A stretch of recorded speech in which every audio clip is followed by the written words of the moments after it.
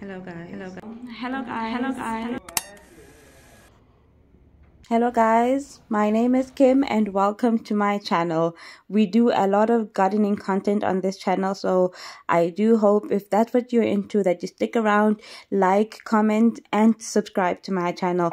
So we're just gonna pick up on where I left. Um, so the last time we were talking guys, the last time I was showing you around my garden, it was looking like a mess.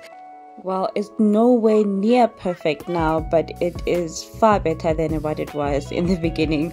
I started with um, taking out all of that grass that was growing wildly around the place where I had intended to do proper gardening beds for my veggies. Yesterday, I did all of that. I turned all of this over so I'm feeling like a, a superwoman of some sort.